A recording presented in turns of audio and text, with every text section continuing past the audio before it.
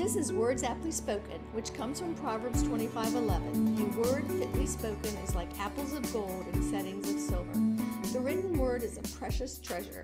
We want to preserve written knowledge for God's glory and as an anchor to the history of the church and its classical conversations. We hope to encourage the reading of words and of the word. Welcome to Words Aptly Spoken. We're Jennifer Courtney, Tim Knotts, and I discuss books from the Classical Conversations curated curriculum. It's Wednesday, February 21st, 2024, and I'm Leigh Bortins. Joining us today, we have Kelly Wilt, curriculum developer for Classical Conversations Multimedia, and she's going to be joining us this week, this month, for to talk about a variety of our products. So Jennifer, why don't you fill in on this month's theme?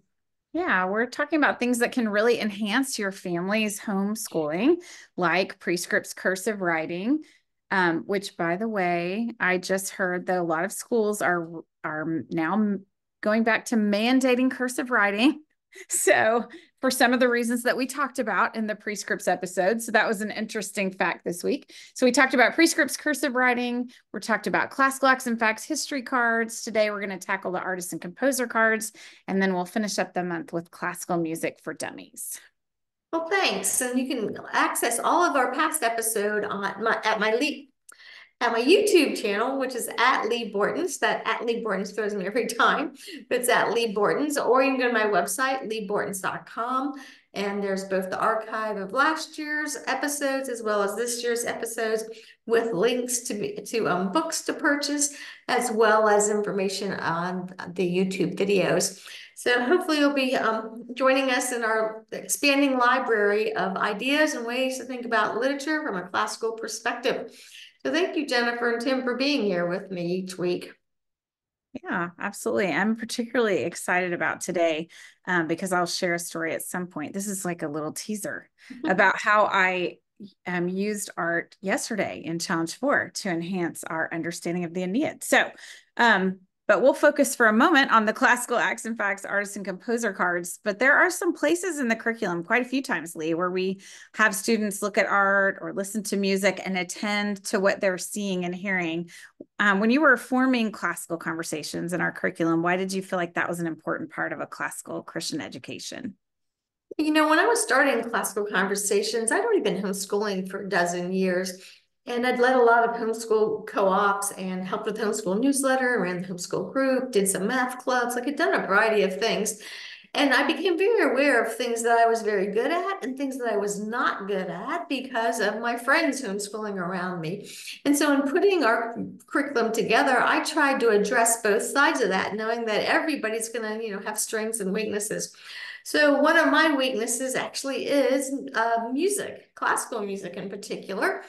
Uh, we happen to be pretty good at art in our family, but music just kind of went by the wayside. So I wanted to make sure that both were in the curriculum because I knew how important art lessons were and how much our family loved to participate in that, you know, the fine arts, lots of times it's called. But then, you know, people forget too that um, art and music are really related a lot to sports. And our family was very involved in sports. It's all art and music and sports are like whole body education. So it was just really important to have that because of, of uh, both strengths and weaknesses in my own community at the time. But then, of course, as we got to know what classical education was and learned about it more and more over the decades, we began to realize that it was um, a good reason. There was good reason that we were strong and weak in this. The church has always supported the idea of singing and praising to the Lord. So that's why we had a lot of people who were really good at instruments in our community and others that just were not.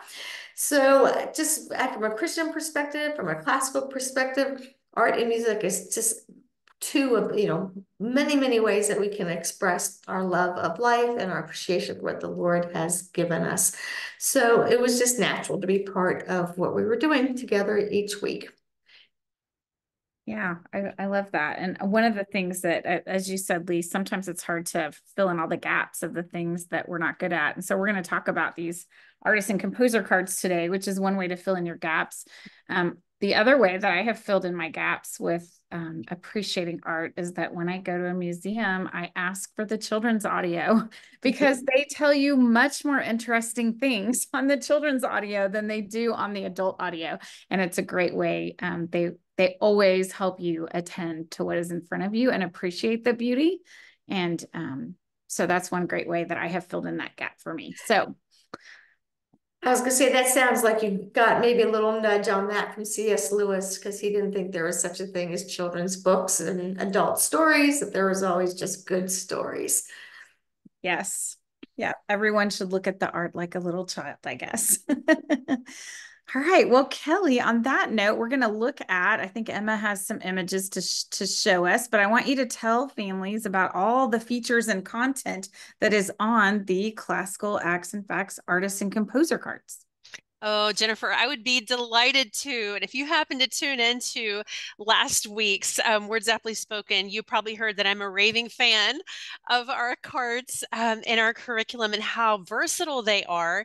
And this set is no exception. So um, as Emma's pulling those up onto the screen, um, I'll just talk a little bit about some of the ways that we have used these um, in our own home. So as you're looking at the card, you may notice if you have seen the classical acts and facts timeline cards, there is a visual similarity to those cards. And a lot of the visuals that you see are similar in both organization and also in aesthetics. So on this particular artist card, which to tease like Jennifer, we will be using as a springboard for conversation in just a bit. The first thing you may notice is a beautiful piece of artwork. Um, and these images are so crucial for our students to see, um, not only to appreciate, but also perhaps to imitate.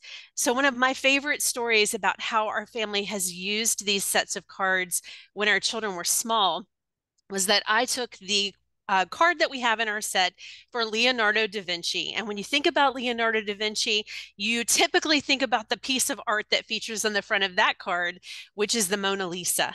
And um, I remember scouring the internet for a large image and I printed out three of them with our printer at home. That's probably not legal. So I probably shouldn't be saying that on this book club, but it was just for at home use. So hopefully I won't get in too much trouble for that. But I remember um, taking them and I cut them right down the center and I glued that half half Mona Lisa onto a piece of construction paper and I gave one to each of my children. And I told them, I said, what would happen if Leonardo had only painted one half of the Mona Lisa? I said, can you show me what you think the other half would look like?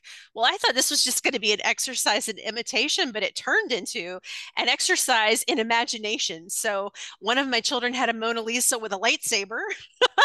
one of my children had a had a Mona Lisa with a hairbrush and just different things. And it was interesting to see how they copied the form, but then they added their own imaginative details, which was so wonderful to see.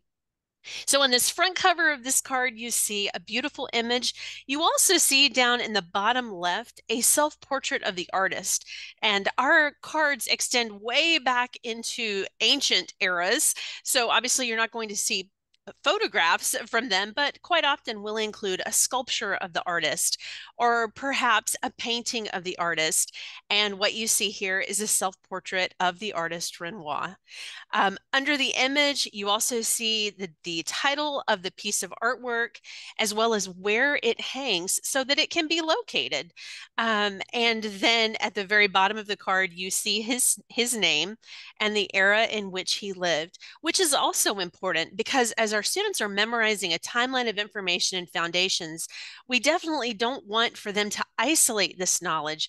We want them to integrate it into that timeline that they're already memorizing. So Emma, if you want to turn to the back of the card um, and pull up that image, you'll also notice again, like I said before, similarities to our classical acts and facts timeline cards just in case your cards happen to make it into a scatter on the floor.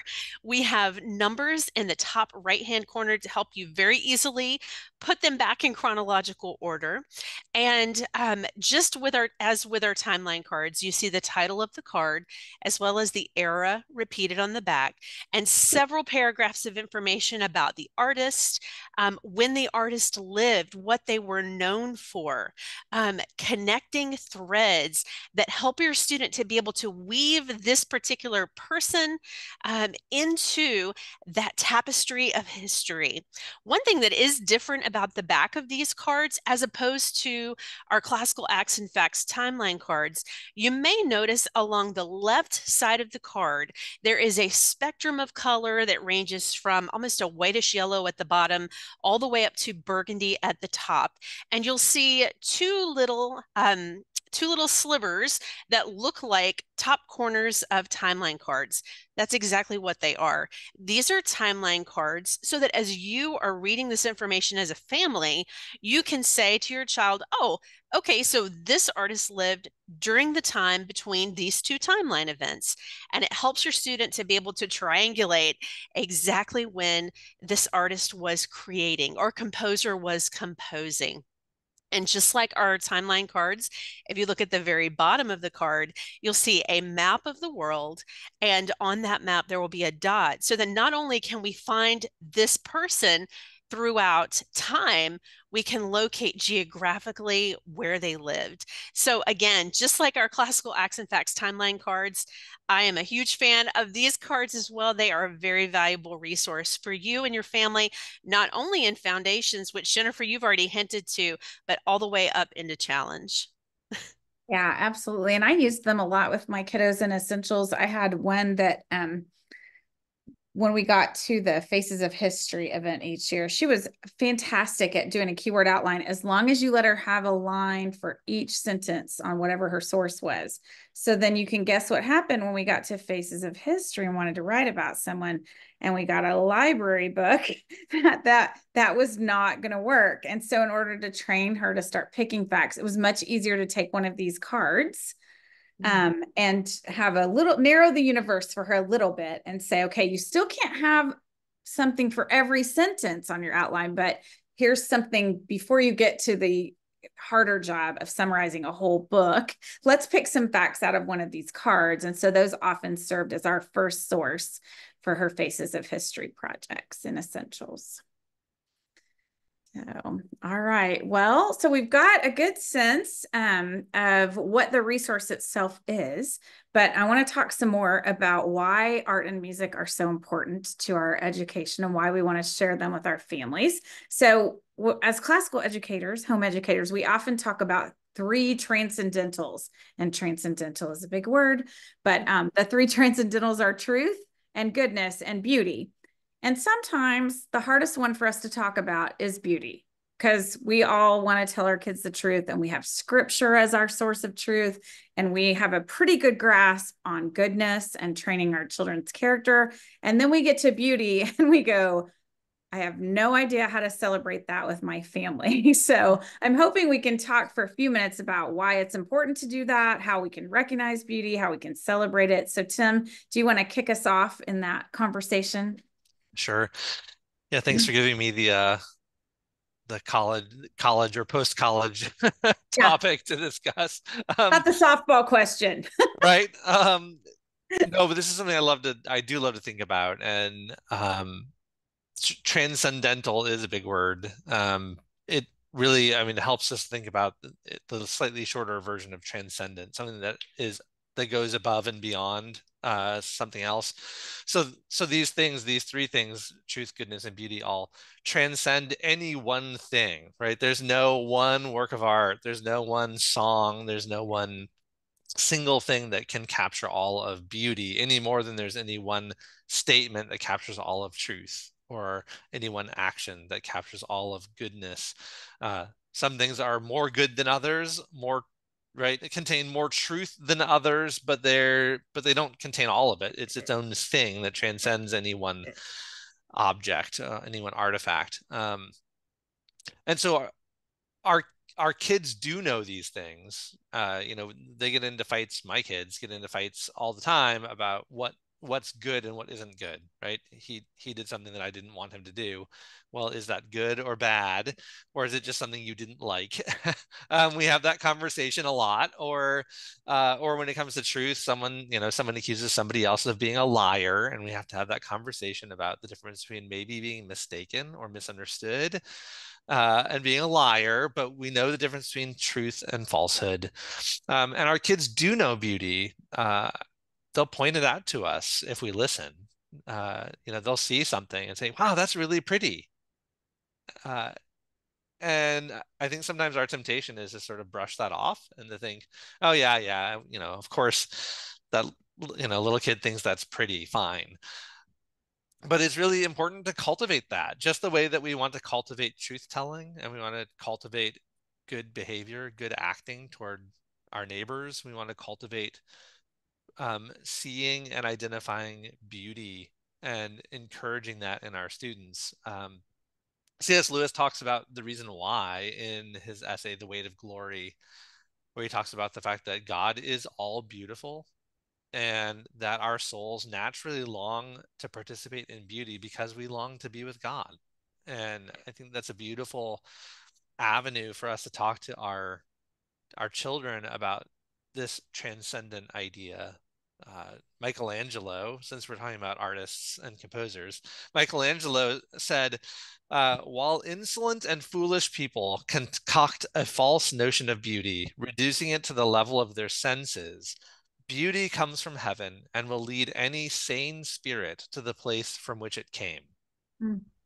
We have we have this opportunity in talking about beauty to talk about things that are more than this world and also less than this world in some ways you know a, a sun a beautiful sunset is worth contemplating um but it comes and goes. It, it comes and goes in in mere moments at times uh and it changes.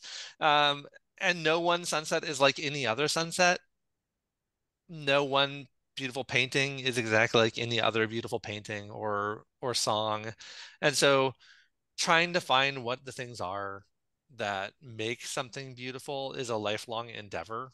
We're mm-hmm. not going to get there with our kids for trying in in 5 minutes or even in 5 months of giving them some kind of a unit study on art. But as we mm-hmm. keep exposing them to it and talking to them about it and asking them what do they find lovely in this lovely thing, uh, mm-hmm. they'll grow in their ability to talk about it and we'll grow in our ability to see what our children see as beautiful and so we need to be both a, a sharer of beautiful things and a listener um, as, as our kids tell us about the beauty that they see.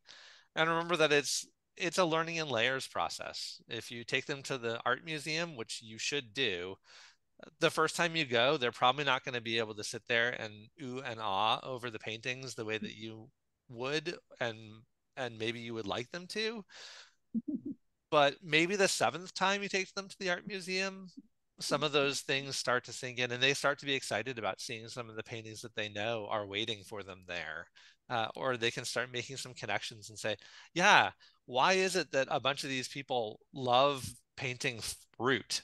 What's up with that? And you can have some great conversations comparing them and saying well what's uh, what is it that's that's attractive about that fruit in this painting and how is that compared to this other painting over here? Oh that's great. I, I, appreciate your reminder to us not just to be with them and train them to look but also to take their offerings that they bring to us because that is very important when they have those recognitions for us to listen and enter in and celebrate the beauty that they're seeing. Sometimes we forget to do that. That's a good that's a good word I think one reason you have a lot of kids too is that probably one of them will be really different from you, if not all of them. And I know my John was the one, our second son, who he was just driven by beauty his whole life, and he still is. His entire career is wrapped around beauty. And I remember him being 17, and you know, I was just driving him home from a basketball game, and he yelled, "Stop the car!" And I got, I stopped, pulled over, and he jumped up onto the roof, and he said, "Can you see the sunset over that hill?" And so, you know, little children do that a lot. And it's really beautiful when you see those supposedly cynical teenagers, they're still doing it.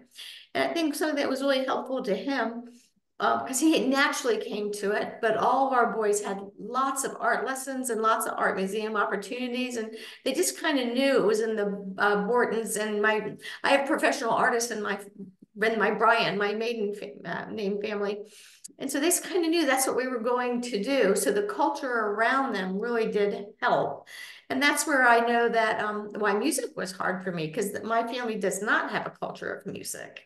And so I love that we're in community because someone like Kelly could have told me things to do, right? Because she's so creative and engaging those younger children. So I just really appreciate that, all the things you bring and your philosophy behind it all too, Tim. There's just so many ways we can help each other to see the unseen and recognize beauty does exist. Well, mm. I think you're right. I think you're right, Leigh. And when we weave that culture into our family cultures, there's such a blessing to seeing that echoed with our children's appreciation. I, I, went on a business trip with my husband to New York City a while back, and we went to the Met.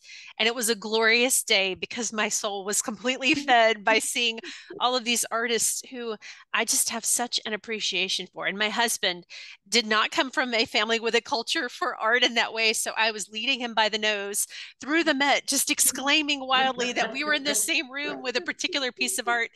And he told me it was the best day of the trip. And we did some pretty amazing things on that trip. But for him to say that um, was so meaningful to me.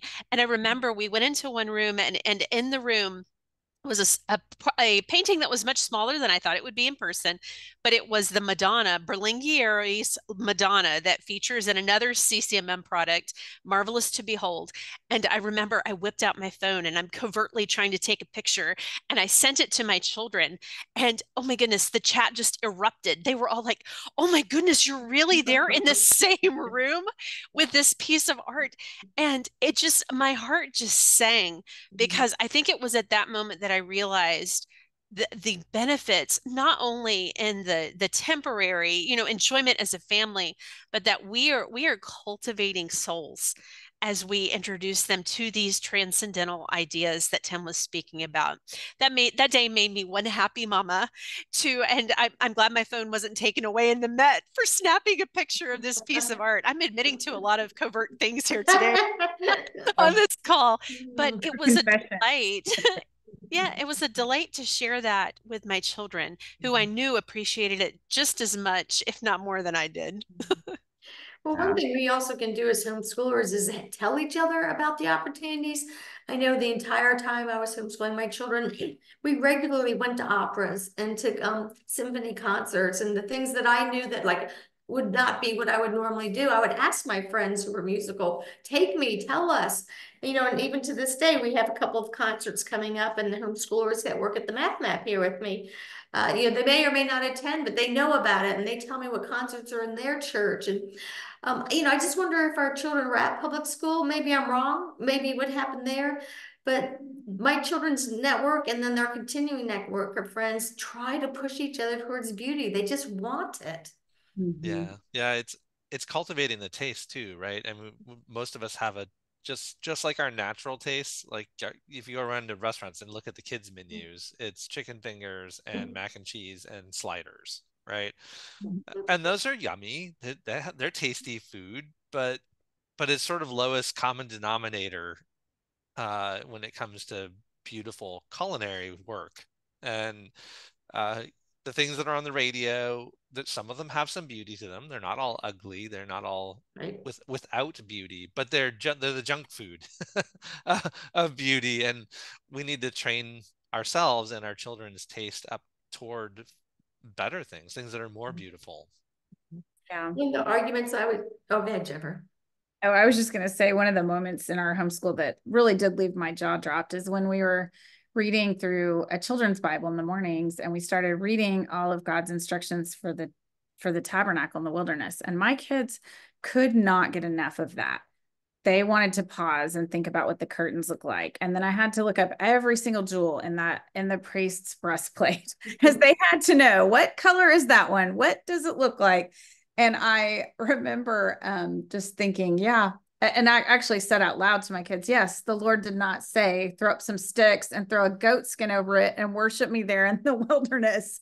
This is indescribably beautiful. And they were captivated by it. And we probably could have spent the whole year just looking at all of those elements of the tabernacle. And it was a great reminder to me to that the Lord does dwell in beauty and love beauty. And that makes us want to look at it too. So I'm sorry I cut you off, Leigh.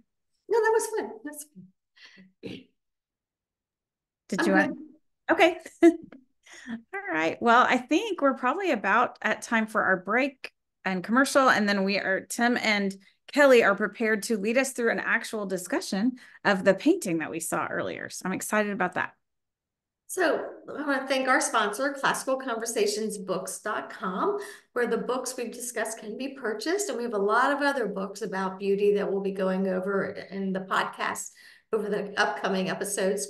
So I just invite you to look through the entire curriculum. We have um, the entire 2023 Words Aptly Spoken uh, book calendar of podcasts at leighbortins.com, as well as links to the specific books on the ccbooks.com site. And you know, one thing that I think is just really important is um, as we we talked more about you know visual art, and I know we're going to talk about musical art, but just to welcome you into next week's conversation, we're going to be talking about classical music using our book. Not the best title, but it's a really good book, Classical Music for Dummies. And um, maybe through humility, that's when we say, Yeah, I'm a dummy. I need to know more. And I just love that book that we're going to be reading next week because it really invited me into an area of beauty I had not been trained in. So, hope I see you. I like that. And I actually do. I know sometimes we cringe at those titles. I actually own the Idiot's Guide to Learning Latin. I think at least dummies sounds nicer than idiot. But um, but that book has actually been always very valuable to me because it started at the beginning and told you the things you needed to know before you started studying Latin. So I can appreciate that those resources, even if we don't love the titles.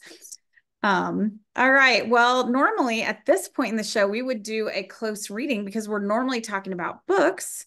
But today, since we're talking about art, we're actually going to look at a piece of art and discuss it. So if you want to pull up Tim's image of the Renoir, and I must admit, Renoir is one of my favorite artists. So, you know, I'm, coming in biased.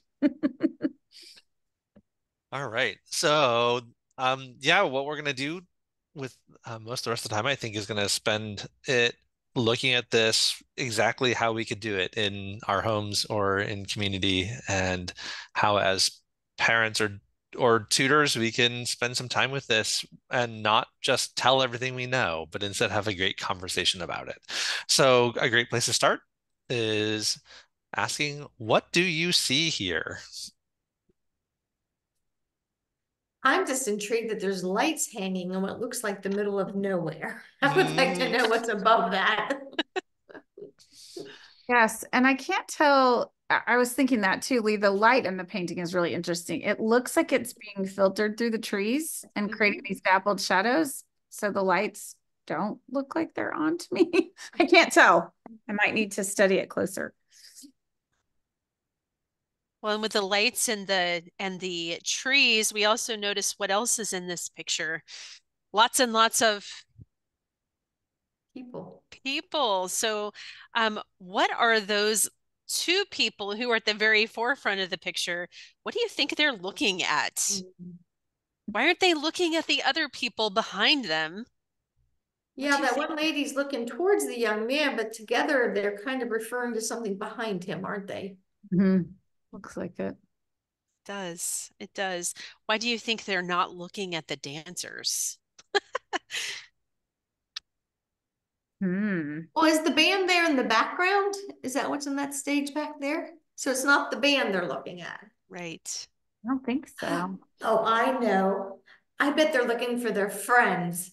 Have they come yet? Mm, very nice. Very nice. So, how are those two ladies similar to one another? Hmm. Is there a sameness to them? Their hair almost looks the same color. I can tell you right away, my girls would, if you asked that question, my girls would have skipped right to how they're different. they would have had a strong preference for the dress of the girl in the foreground. Ah, okay. Opposed to the girl in black. So I think they're mother daughter, don't you? Or at Mm. least older sister. They do look like they're related somehow, don't they? There is Yeah. an air of sameness. And Mhm. Jennifer, you took my my next question. Oh, How are they different? No, it's good. How are they different? You zeroed in on one way. Their dresses are different. their hair different. Let's. Is the one wearing what is on her head? Sorry, the one in the background, the black dress. Yes, She's wearing a hat I think so. or a When- when- of some kind. when Tim and I were looking over this painting and just having a conversation together, we talked about how we think she may be the only woman in the painting with a hat. Yeah, that's why I think she looks more matronly in that Yeah. she's, she's a mother or an aunt. She's not a friend. Right. And Yeah. what what's different about her dress than everybody else's dresses? Which her. The the lady in the back, the The hat lady. the hat. Besides the fact that it's a dark color. Yeah. Does anyone else have a dark colored dress on? Mm. No, that and that does seem to, if you are a reader of novels of this century, usually the matrons are wearing dark, sober colors and headdresses, and the young girls are almost always have flowers in their hair instead if they're at a ball. Oftentimes because they were widows by a young age. Mhm. Mhm. Yeah, black black is often associated with mourning, right? And and Mm-hmm. especially here, it would be a little odd to be here in in mourning, wouldn't it? What what's going on in this scene? It's quite a street dance. Mhm. It does. It It is. reminds me of New Year's Eve when I took the children to, up to Raleigh to see the Chinese lanterns, and there was just Uh-huh. people and lights and music and just yeah, things everywhere. It's very exciting.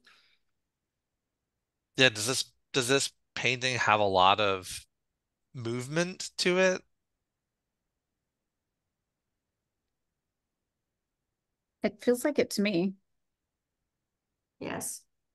It's an interesting how s- how something that's static can still Yeah. have an an ah. air of motion to it. So between the dancing and the lights and looking at different angles. Mhm.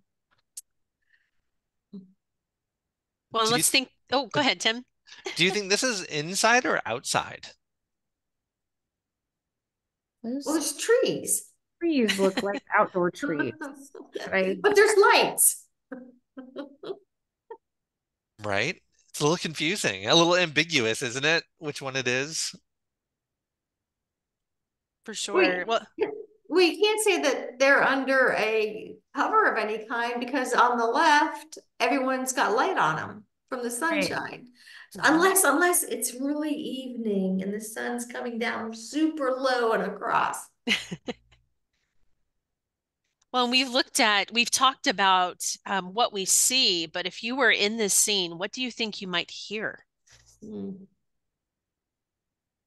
I'm I'm getting very specific, so you'll have to forgive me. Away all my favorites. I am hearing a Chopin waltz because I love Chopin. And I and you know, this is French and about the same time. So I feel like it's Chopin waltz going on in the background. That's Mhm. what I'm hearing. And and also lots of chatter because there's lots of groups talking as well as dancing. Mhm. Mhm. And We- I think skirt swishing also. This fabric is going to be noisy fabric, I think. There and there's netting and petticoats and things under it. So you're going to hear a lot of swishing. Lots of swishing. Does No, this look, oh, go ahead, Leigh. I would say, what- so because it is French, I think you're correct. Well, I, I originally was thinking, when you asked music, I was thinking, because of the straw hats and the clothes of the era. I was thinking, you know, Casey would waltz with the strawberry blonde or Daisy, Daisy, give me your bicycle to, or get right on my bicycle, whatever that song is. There was lots of songs that were very, um, that was pop music, but it was like sweet songs in the 1880s and 90s, right? You know, it was after the Civil War and people were tired of ugliness. Mhm. So, hmm Well, Leigh, you had a good you had a good point that um, after the Civil War, people were tired of ugliness. Does this remind you of anything else that you know? And Leigh, you kind of alluded to that already with the lanterns. Does this scene remind you of anything that may be familiar to you?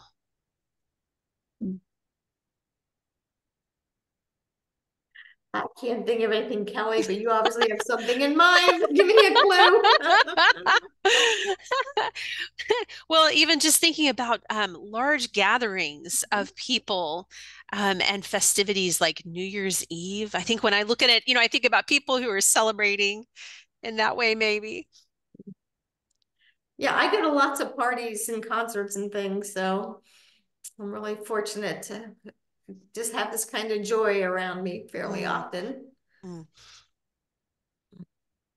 What is it about it that makes you associate it with joy, Mm. Leigh? The colors and the movement and that it's outside. And I mean, that matronly woman, she's got her arm around the daughter and she's so happy looking. Mhm. That, that's, they're all happy here. Yeah, yeah, look at all the faces. Mhm. And there are a lot of faces here. A lot. And they're all they're all happy, right? You see a lot of smiles and Mhm. Well, you got the contrast between the guys in the straw hat and the one on the left who has the black hat, and he looks like a bad guy. He doesn't look as happy as the other ones. Kelly and I were thinking that he looked actually a little bit like Renoir. Mhm. If you Oh, look at the little little bit. maybe little the snapshot there. little self-portrait stuck in. Right. Painting himself into a memory, maybe. I'm having the Boulogne Mall of the Galette, which was what, a Mm. park or a city in Paris? Moulin actually means a mill. So if you think of Moulin Rouge, which is not not quite as innocent as this scene, but that that's you know the, it's symbolized by the red windmill. So Moulin literally means a mill, and there is near this site of this painting there is a an old mill that be that is now today a restaurant. Mm. Um, I think it's up in Montmartre where all the artists would go to paint during Renoir's day. So um, I, I'm assuming they're just near that mill, that old mill. Mhm. And the word ball would make you think this is A like ball. a ball, which might lead your children, if you were having a conversation about this card, to thinking about other fairy tales like Cinderella or um, those types of events where there would be balls where the ladies would dress up and they'd be escorted, which would be a fun thing to do with your family. Looking at this, escort them to the dinner table. Is I was also thinking about baby ways that we train our kids to look. So when Benjamin was little, he was fascinated by the book Go Dog Go. oh, I still cannot hardly open the covers because I read that so many times. But in in one, you know, it's all about the dogs getting to their dog party, their riotous dog mm-hmm. party at the end. But all the dogs have colored scarves on, and there there's one image that stretches across two pages where the dogs start up close to you and then they recede into the back. And he would spend forever looking at that and going, trying to figure out what's the pattern and the color of the scarves and what color scarves are the dogs wearing that you can't see. And I was thinking probably my kids would do that with this painting too. They'd be trying to stretch off into the distance and see what colors those people had on and what they were doing, what their expressions are, because they're just a little mysterious back there at the back. yeah. I I was talking about the back. I'm wondering if that thing that looks like green teeth is a landmark that people would have recognized seeing this picture, and that's why he put it in there. That's very very funny you say that, Leigh. That's exactly what Kelly called those when they looked at this picture as green teeth. They do. Um, but that but that is the sort of thing that our younger kids would look at it and say, "Look, it's green teeth," right? And and then to be able to to enter into that with them and not correct them about it, but to just let them see it for what they see is just fine. The- Uh, you know, Renoir is not going to be upset that you thought that those were green teeth. Um, Yeah, it's too bad that modernity thinks of art history class as art history. Mm. Right, that drives it out of them, and so, so like, what, Tim, tell me what I have to look at this for so I can pass the test, Right. Mhm. Right. and shuts you down right away. Right. Yep. So I think another thing you said, Joy Leigh, is one of the things you see in this. There's also a lot of romance in this picture, isn't there? And, and by romance, I don't just mean boys and girls dancing together, because clearly there's that, but that sort of romantic idea. Uh, what what about this sort of speaks romance or romantic to you? Well, the, looking at the forefront, I mean, the longer I look at it, the more you see, right? And so that is the mother, and the person facing her is her son. You can tell by how he's drawn that he's young. They've come together as a family, and you know, they're dressed up and they're waiting for their friends, and there's music in the background. And all of that speaks of just the romance of life and the delight of being outdoors and alive. And they may not know anybody else in the back, but they feel like they're part of that community. And that's all romantic. Yeah, thanks for the story, Leigh. That's that's great. Uh, and actually get... had a different story. Yeah, okay. Tell us your story, Jennifer. I think he looks old enough to be the girl's suitor. I'm wondering if Mama is checking him out and deciding if he's worthy. I don't know. She, I mean, she looks like she likes him. So to me, oh, okay to me, it looks like the older sister and younger sister. And mm. the older sister is introducing younger sister to ah. a young man who she thinks would be a good match. And I think she's holding some flowers in her lap ah. there. Uh, perhaps he's brought them for her. Yeah, it's hard to, the painting's not clear at that point because they could still be like in his lap because they're on this side of the bench. Right. Just yeah, there's just like we enjoy reading about these in the stories, this is so enjoyable to look at because it is young people celebrating life together and getting to know one another and getting to learn how to relate to the opposite sex. Even if they're not courting couples, they're learning how to be together and um and celebrate community together. So it's fun to fun to look at them. How much do you guys think, this is not necessarily the question for a kid, but how much do you guys think the fact that it's impressionistic adds to the joy? I was trying to think of there, there probably aren't very many dark impressionistic pictures, are there? There are some pretty moody ones. Um, um but the, well, the scream, I guess, is dark, right? And that's impressionistic. Yeah, there are. But here, I think, yeah, the, the to me, it's a little bit of that haze, that haziness like that um romance. our mid 20th century film uh people picked up, picked up on this filmmakers picked up on this too right? And they would put that sort of um the soft mm-hmm. gel on the lights and and give everything sort of that hazy feel to to enhance sort of that dreamlike state. And i think that that's a little bit what's going on here is uh, when we get into a big party like this, we have a good time, but there's a little bit of that sort of fuzziness that comes along with being in a big crowd and having a really good time. A lot of, of Renoir's paintings have that that feel to them. They're they are joyous. I mean, my other favorite of his is two girls, two sisters at the piano having a music lesson, and it has bright and joyous colors, and they're clearly enjoying playing the piano together. I think he his paintings are more joyous than some. Well, here's one more story, and then we probably are almost out of time, but maybe Tim's right. And uh, this is the young beau the mother's really interested in, but that little girl is looking past him. I know. She's looking for somebody else. Not interested in this conversation. And maybe that's because she's the chaperone. It could be completely the other mm. way around. I don't know. True. Isn't that nice though that there's no right answer? Yeah. Leaves scope scope for the imagination, right? to be able to fill in all the details. yep. And so, you know, from here you can take this card and uh, you might do the Kelly project and say, okay, now draw the the people who are over to the right of of our young man who are missing from the paint from the painting but are also at the party.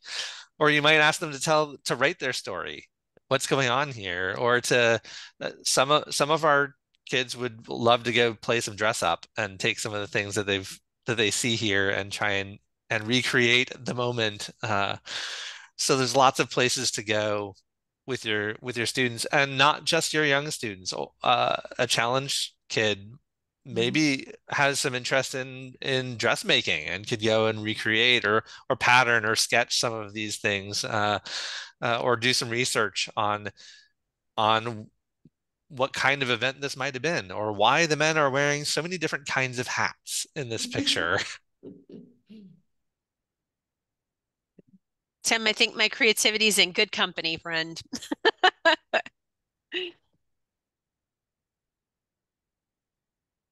Well, so are you closing us out for today, Leigh? Yeah, that was great. That was a fifteen minute conversation on one picture among people who aren't in the same room together. So I just really appreciate the unity that we can have because of our time that we've spent in person and our time with the same curriculum and our time with the same goals of uh, working with our children, even though our families are so different. We have one and only one goal to help them to know God and make them known.